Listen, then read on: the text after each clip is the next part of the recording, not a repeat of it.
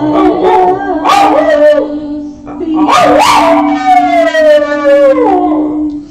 the Lamb of God. Behold him who takes away